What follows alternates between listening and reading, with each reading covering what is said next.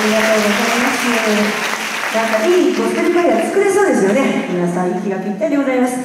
では、えー、最後の曲は「希望の歌」というこれは日本語と英語の曲が混じった曲なんですけどもあなたの笑顔にはもう未来がある。そしてその未来は世界を変えるんだというとっても力強い曲です、えー、皆さんが聴いたことのあるあのメロディーです。それでは一応最後の曲。